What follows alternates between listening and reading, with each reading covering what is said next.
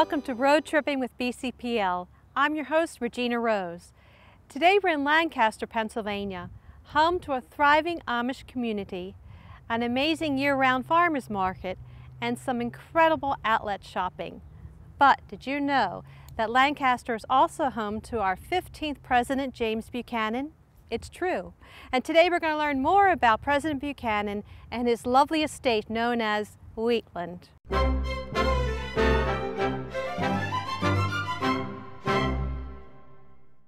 My name is Patrick Clark, and I'm the director of President Buchanan's Wheatland. Wheatland uh, was originally owned by a nonprofit called the James Buchanan Foundation for the Preservation of Wheatland, and that was established back in 1936.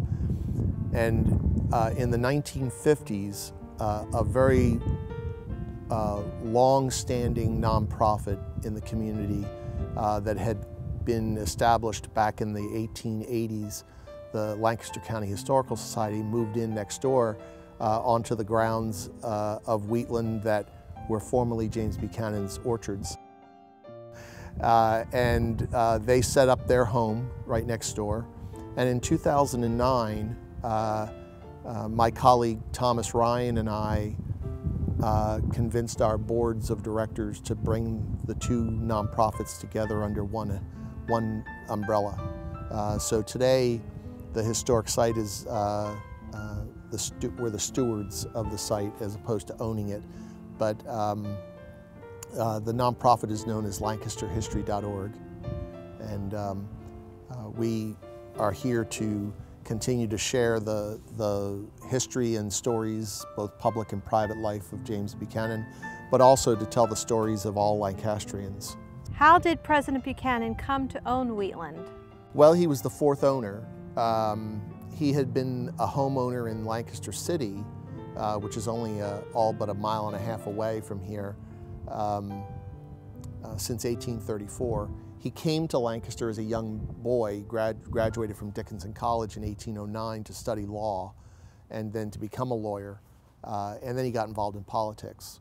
Um, when he was serving as Secretary of State for President Polk in 1848, he learned that um, the current owner of the Wheatlands, as it was known, uh, had decided that he didn't want to hold on to it as a, as a country home any longer. And James Buchanan uh, most likely had in the back of his head at that point that he would like to have a grand uh, uh country home as a place where he could eventually retire, but a place that would also allow him to achieve some of his political aspirations. And of course, his, his main political aspiration at that point in his life was to become President of the United States. Anywhere between uh, 75 to 85% of what's in the House today on display belong to either James Buchanan or to a relative who has donated it to uh, a, a, piece to, to help us tell the story. So we're very fortunate to have what I would call a very rich collection of um, family pieces. Um, Buchanan's home has never really been changed uh, since he lived there. Uh, his niece Harriet Lane, who inherited the house after he passed away, she and her husband uh, brought their two boys up from Baltimore uh, to uh, summer uh, in, the, in the countryside up here. And sometime during the 1870s, the early 1870s, she installed a bathroom and put a window on the north wall so she altered the architecture in doing that. Uh, not the inclusion of the bathroom, but the, the uh, creation of a fenestration.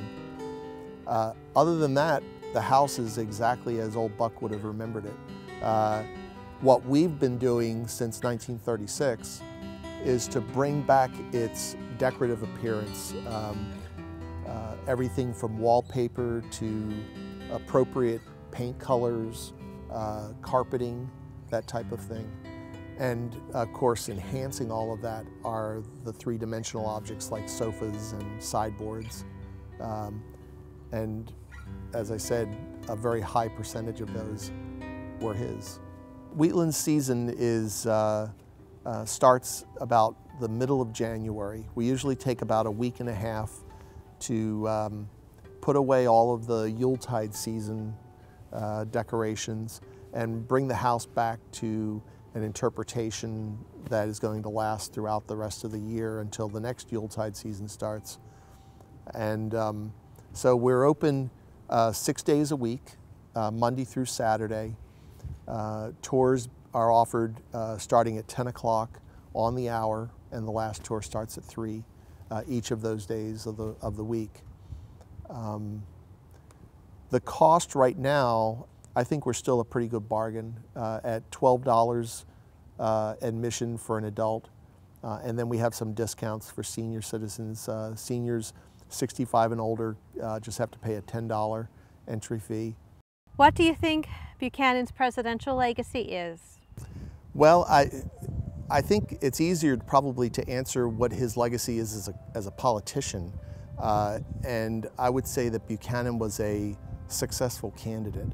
Uh, he held almost as many different electable positions uh, in our nation's political arena as could possibly be held, uh, as well as appointments. He, you know, started out as a member of the, the House of Representatives, uh, uh and he also served in the Senate. Um, he was uh, um, the chief diplomat as Polk's Secretary of State, and he served under uh, Andrew Jackson as the Minister to Russia and under President Pierce as the Minister to Great Britain uh, and then became the President of the United States. But I guess if I had to think about a legacy for his presidency, um, I would say that uh, his legacy was a, a, a, legacy to maintain the peace. Although uh, I think for any one person at that time in, in America's history, it would have been a, a tough uh, goal to try and hold on to. He had a, um, James Buchanan was a, unfortunately for him, he treated the U.S. presidency as a diplomat, would have treated their job as a diplomat. Uh, and he uh, viewed the people as one uh, part of the, the diplomatic mission and the other being Congress. And he tried to bring those two together to the center and what happens to the person who is the diplomat when they fail to bring both parties to the center is they end up being vilified. And, and that's exactly what happened to James Buchanan. Thank you for joining us today.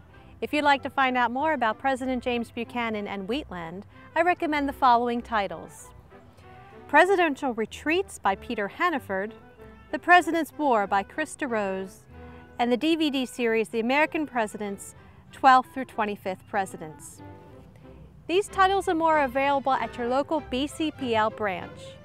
For Road Tripping with BCPL, I'm Regina Rose.